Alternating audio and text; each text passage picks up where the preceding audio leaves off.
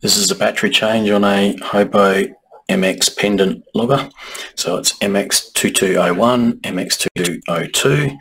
Um, both are identical. Um, one is green front, the other blue front. Um, turn them over. Give it a twist. That part will then lift off showing the battery inside. The battery should just pop out fairly simply with just putting a little screwdriver underneath.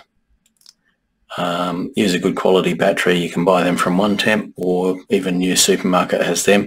It's a CR2032, um, just a little flat pack lithium. Keep it under that lip there when you put the new battery back in and just push down and it will snap into place. Now check your seal at this point in time. There's a little rubber seal that goes right around the, the unit there. Make sure that's clean and also it shouldn't be dry. It needs some silicone grease on that. So if you have a little bit of silicone grease, you can pop around there.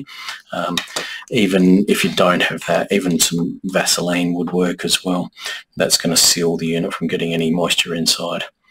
So when you pop that back on there, uh, you'll see the tabs line up, little recesses there, line up with the recesses there, and just push down. You'll, you'll feel the pressure of the seal uh, when you do that. It will be pushing the air uh, outwards and give it a twist back up. And you're all okay then. Make sure it's all sealed and gone back in and it's uh, sealed right around so it's not sort of jotting out a little bit on one side. Um, when you connect to it, it will tell you that uh, there's been a new battery fitted. Just okay that, acknowledge it that, um, that that's happened, but uh, that is around about it. You've got a new battery. Thank you.